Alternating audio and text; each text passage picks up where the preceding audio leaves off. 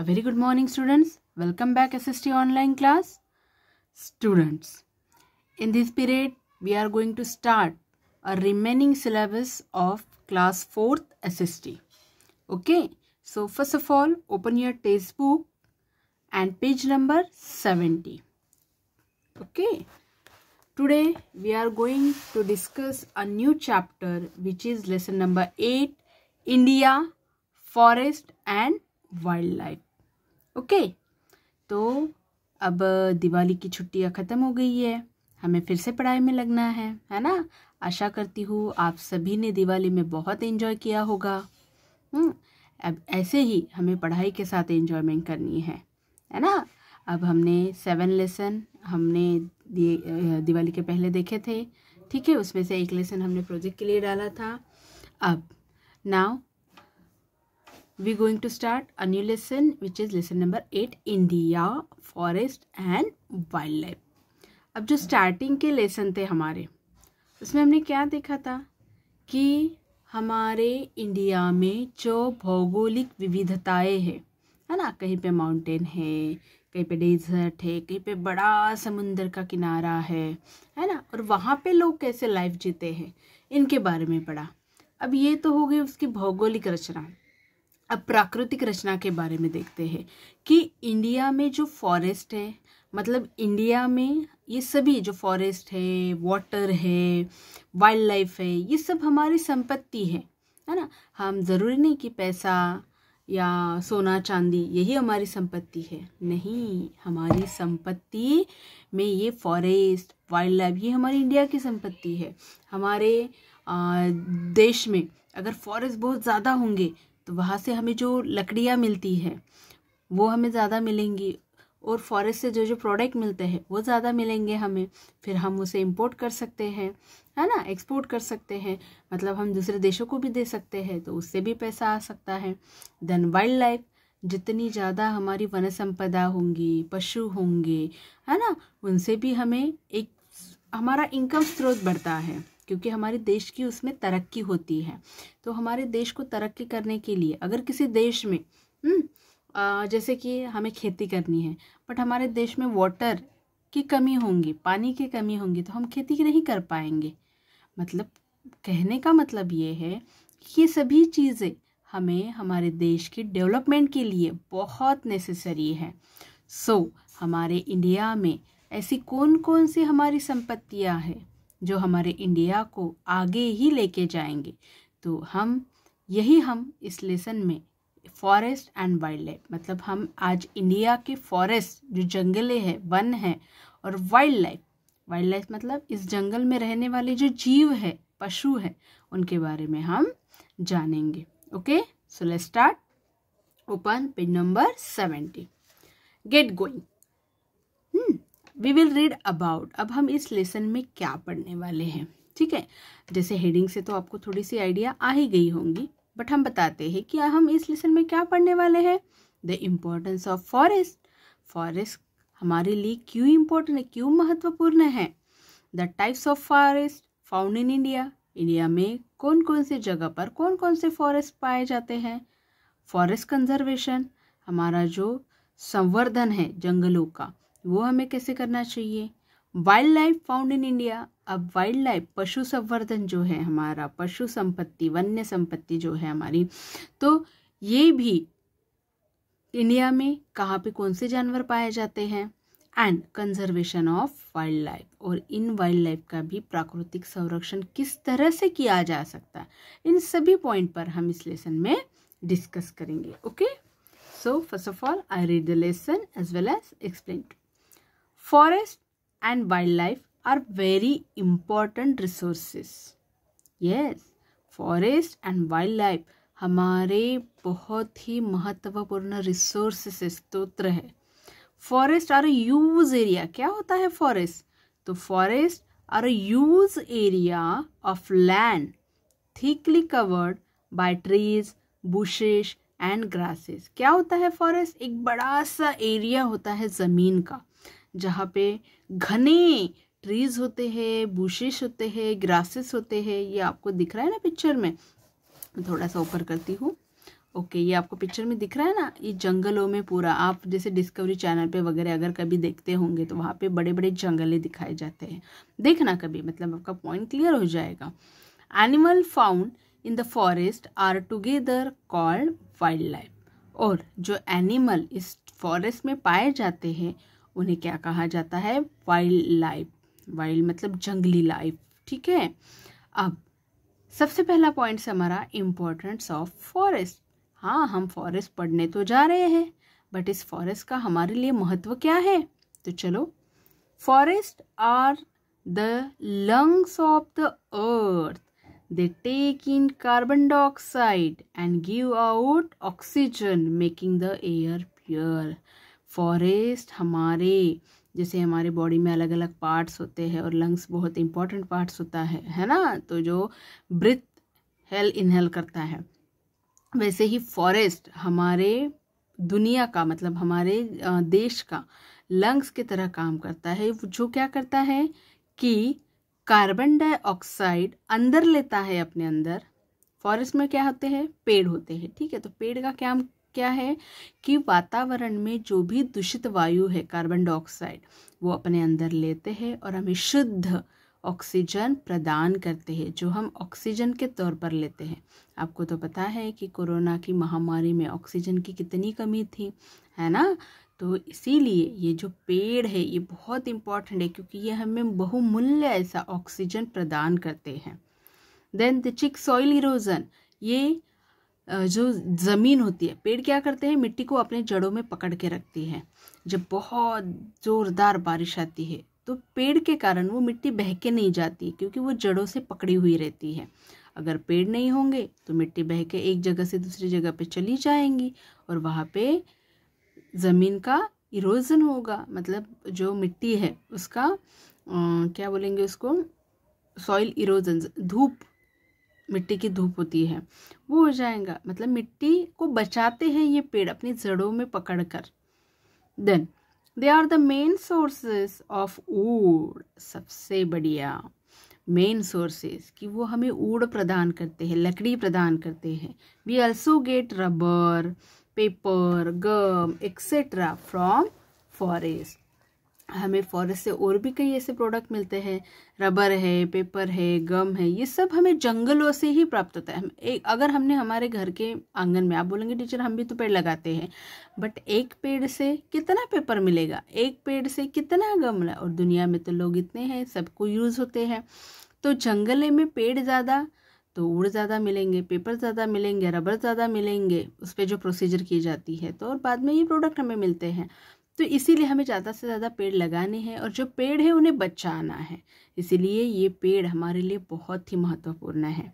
They give shelter and food to many animal and birds yes पेड़ के छाँव में तो कई जानवर, कई पंछी अपना बसेरा बसाते हैं, है ना? तो वो शेल्टर प्रदान करते हैं फ़ूड प्रदान करते हैं। उन फलों उस पेड़ पर लगने वाले फलों पर उनका आहार होता है। तो ये सब हमें फॉरेस्ट से मिलता है। और इसीलिए फॉरेस्ट हमारे लिए बहुत ही इंपॉर्टेंट है।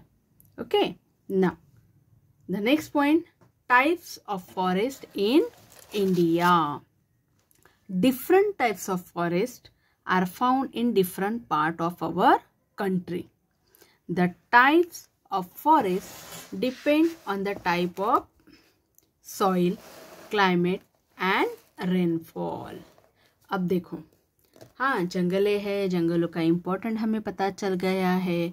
तो अब हमें क्या करना है, क्या देखना है? अब हमें टाइप्स ऑफ़ फॉरेस्ट देखने हैं। देखो, मैंने आपको स्टार्टिंग में ही, जब हमारे स्टार्टिंग के लेसन में कि इंडिया की प्राकृतिक जो रचना है, वो एक तरीके जैसी नहीं है।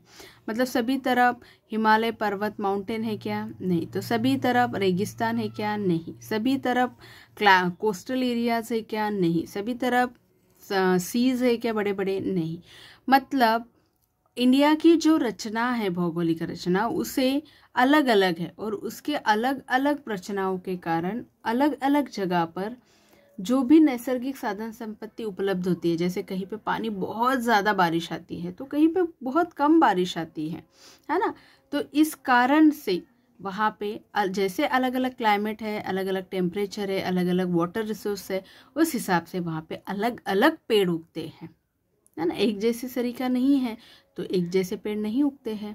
जहाँ पे बहुत ज़्यादा बारिश होती है, वहाँ पे अलग पेड़ होंगे। जहाँ पे बहुत कम बारिश होती है, वहाँ पे अलग पेड़ होंगे। जहाँ पे बहुत ठंडा वेदर होता है, वहाँ पे अलग पेड़ उगेंगे।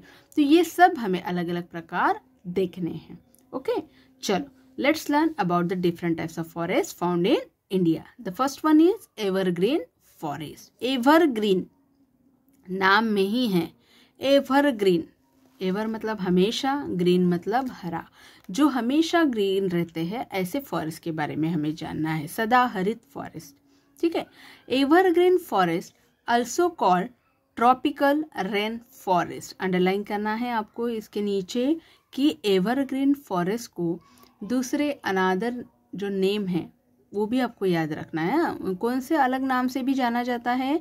तो ट्रॉपिकल रेन फॉरेस्ट ट्रॉपिकल मतलब उष्ण कटिबंध उष्ण एरिया में जो आता है हमारा, जो India.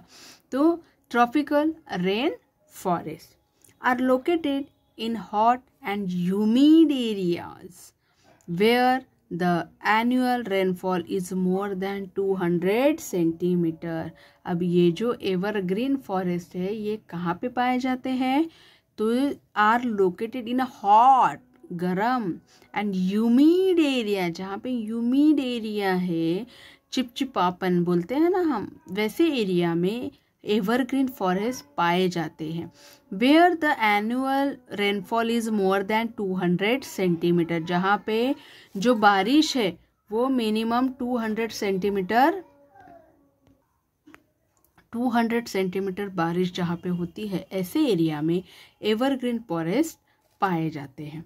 The trees found in this forest do not shed their leaves all together at the same time अब यहाँ के जो एवरग्रीन फॉरेस्ट के पेड़ होते हैं, वो एक साथ सब पेड़ अपनी पत्तियाँ नहीं झाड़ते। इसीलिए वो कुछ पेड़ों के पहले गिरते हैं, कुछ पेड़ों के बाद में गिरते हैं तो जब तक दूसरे पेड़ों के गिरते हैं, पहले पेड़ पर पत्तियाँ आ जाती हैं। तो इसीलिए इन्हें सदा हरित मतलब हमेशा ही ग्रीन दिखते हैं ये पेड़, क्योंकि एक साथ वो सभी पेड़ अपनी पत्तियाँ नहीं झाड़ते, इसीलिए इनको सदा एवरग्रीन फॉरेस्ट कहते हैं। Thus they remain green throughout the year और वो पूरे साल भर ग्रीन दिखाई देते हैं हमें, इसीलिए उन्हें एवरग्रीन फॉरेस्ट कहा जाता है।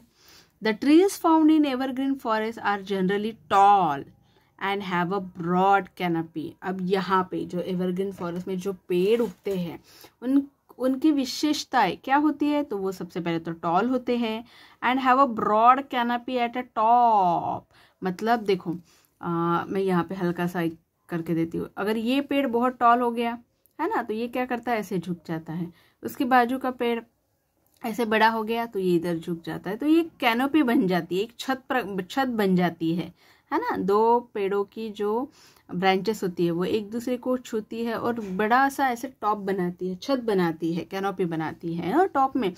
दे हैव हार्ड वुड और इनकी जो लकड़ियाँ हैं, ये भी बहुत हार्ड स्ट्रॉन्ग होती है।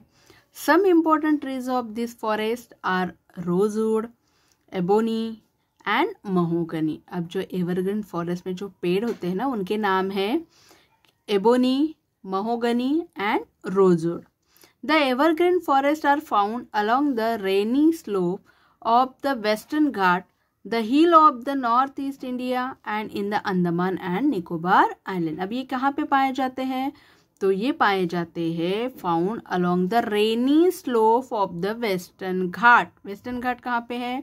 डायरेक्शन हमेशा याद रखना। नॉर्थ साउथ ईस्ट वेस्ट तो वेस्टर्न घाट ये है। ये आपको ब्लू दिख रहा है? दिख रहा है ये ब्लू ओके मैप में देखो तो आपको इजी फाइंड हो जाएगा क्योंकि आपको मैप आते हैं एग्ज़ाम में। तो वेस्टर्न घाट पे जहाँ पे, ये देखो यहाँ पे, आपको हेल्पलाइन भी दी है हाँ? ये ब्लू बॉक्स जो दिया है, उसके सामने नाम दिया है ट्रॉपिकल रेन फॉरेस्ट मतलब आपको क्या करना है कि जो एवरग्रीन फॉरेस्ट है, उसका अनादर नेम है ट्रॉपिकल रेन फॉरेस्ट तो कहाँ कहाँ पे है? तो ब्लू कलर ढूंढो मैप में कहाँ कहाँ पे है। ये देखो यहाँ पे है। वेस्टर्न घाट देन यहाँ पे थोड़ा सा ईस्टर्न घाट फिर इधर, ये दिख रहा है आपको पूरा ब्लू एरियाज़ है ना? The hills of north east India north east India वो सेवन सिस्टर्स वगैरह होते हैं, है ना? अंडमान, निकोबार. तो यहाँ पे ये सभी हमें दिखाई देते हैं। कौन से पेड़? ट्रॉपिकल रेन फॉरेस्ट यानी एवरग्रीन फॉरेस्ट हमें दिखाई देते हैं। ठीक है? अब, ये तो हो गए एवरग्रीन फॉरेस्ट अब जो है हमारा सेकेंड टाइप्स ऑफ़ फॉरेस्ट वो है डेसीडियस फॉरेस्ट देखो, उनका नाम deciduous forest the deciduous forest are found in the foot hill हाँ पाए थे। ऑफ़ द हिमालय हिमालय के नीचे का जो एरिया है फुट हिल फुट हिल का एरिया है, वहाँ पे ये पेड़ पाए जाते हैं deciduous forest in the wetter region of the peninsular plateau जहाँ पे गीला एरिया होता है, वहाँ पे ये पेड़ पाए जाते हैं. The deciduous forest cover almost half of the total forest cover of India India में ज़्यादा से ज़्यादा अगर कुछ दिखाई देते हैं तो वो दिखाई देते हैं डेशिडियस फॉरेस्ट क्योंकि almost cover half of the total forest मतलब जितने भी फॉरेस्ट है, उसका अगर हमने हाफ़ किया तो वो टोटल डेशिडियस फॉरेस्ट ही पाए जाएँगे।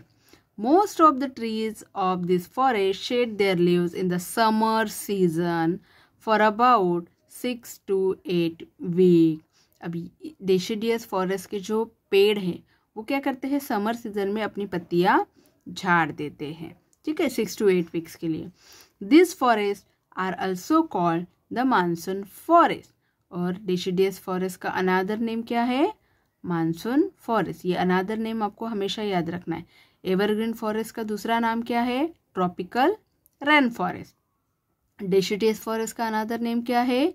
मानसून फॉरेस्ट ठीक है?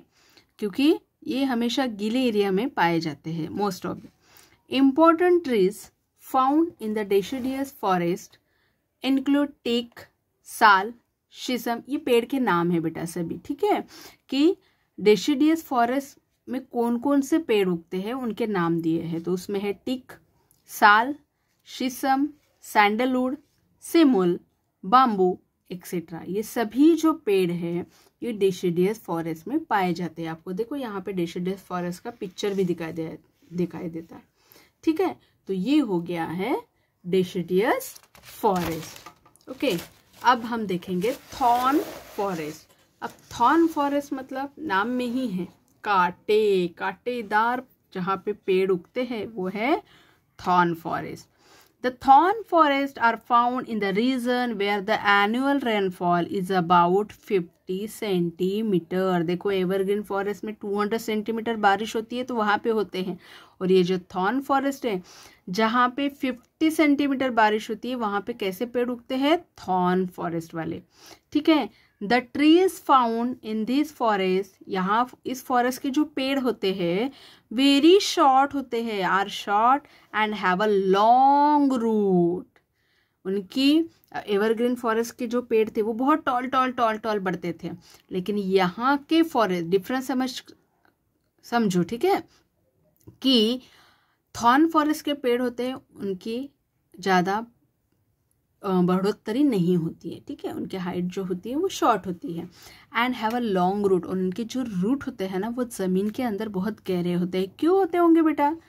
ये क्योंकि इस पेड़ के जो भी रूट्स होते हैं, वो पानी की तलाश में अंदर अंदर अंदर अंदर ज़मीन के अंदर फैलते जाते हैं। इसलिए उनके रूट्स बहुत लॉन्ग होते हैं।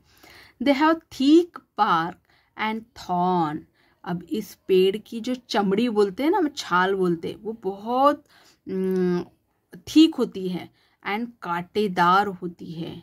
Some trees of this forest include kikar babool palm etcetera बबूल का पेड़ देखा होगा? अगर आपने नहीं देखा होगा तो आपके मम्मी पापा को पता होगा तो आप देखना ज़रूर, ठीक है? तो उनको भी कांटे होते हैं, ठीक है? Cactus of different types of bushes are also found in this forest cactus का पेड़ देखा है? उसके पत्ती कितनी मोटी होती है और उस कॉर्नर पे ऐसे छोटे छोटे कांटे होते हैं। हाँ उनकी पत्तियाँ क्यों जाड़ी होती है? क्योंकि वो अपने पत्ते में पानी धर के रखते हैं ऐसे, क्योंकि वहाँ पे पानी ज़्यादा मिलता नहीं है इसीलिए। ज़्यादा अगर पानी कम है तो वो पत्ते जल्दी सूख जाएँगे ना, इसीलिए। तो these forest these forest are located in Rajasthan and some part of Haryana and Gujarat अभी जो थॉर्न फॉरेस्ट है, ये कहाँ पे पाए जाते हैं बेटा इंडिया में? जैसे राजस्थान हो गया, जहाँ पे डेजर्ट है, पानी की मात्रा कम है। Some part of Haryana Haryana के कुछ पार्ट में ऐसे ट्रीज पाए जाते हैं। गुजरात के कुछ पार्ट्स में ऐसे ट्रीज पाए जाते हैं, जहाँ पे पानी की मात्रा थोड़ी कम है, वहाँ पे ऐसे पेड़ ग्रो होते हैं। ठीक है? ये कोई इंसान ने नहीं लगाए हैं पेड़। जहाँ इन पेड़ों की जो बाढ़ होती है, जो बढ़ोत्तरी होती है, वो अपने आप, प्रकृति अपने आप उनको बढ़ा करती है, बिना कोई मनुष्य की सहायता से। हम जैसे अपने घर में पेड़ लगाते हैं, है ना? कोई प्लांट लगाते हैं तो हम उसको वाटर देते हैं, ये करते हैं, वो करते उसकी देखभाल करते हैं, है ना? लेकिन ये तो नेचर ने अपने आप में इनको ऐसा एक वरदान दिया है कि ये खुद अपने आप ग्रो होते हैं। और बड़े बड़े जंगल, कई साथ, एक एक पेड़ नहीं, ऐसे कई पेड़ एक साथ उगते हैं और वो उनको मिलकर जंगलें तैयार होती है। देखो, प्रकृति ने उनको इतना बड़ा गिफ्ट दिया है कि आप अपनी रक्षा खुद कर सकते हो, आप अपने आप से खुद बढ़ सकते हो। ये है हमारी प्रकृति। तो इस प्रकृति का हमें संरक्षण करना है। तो जिस इलाके में जैसा वेदर होता है, जैसा वाटर होता है, जैसी मिट्टी होती है, जैसा उनका वहाँ का भौगोलिक रचना होती है, वहाँ पे वैसे वैसे टाइप के पेड़ उगते हैं और उनको अलग अलग टाइप से जाना जाता है। एवरग्रीन फॉरेस्ट है, डेशिडियस फॉरेस्ट है, एंड थॉर्न फॉरेस्ट है। अब जो आगे के हमारे कुछ फॉरेस्ट है वो हम नेक्स्ट पीरियड में कंटिन्यू करेंगे ओके तब तक आपको क्या करना है? लेसन अच्छे से रीड करना है। एक एक लाइन आपको समझनी है ओके एंड क्योंकि मोस्ट आपको रीडिंग आना बहुत ज़रूरी है तो एक एक वर्ड अच्छे से विथ फोनिक साउंड से आपको रीड करना है, समझना है ओके तो नेक्स्ट पार्ट हम नेक्स्ट पीरियड में देखेंगे okay thank you have a nice day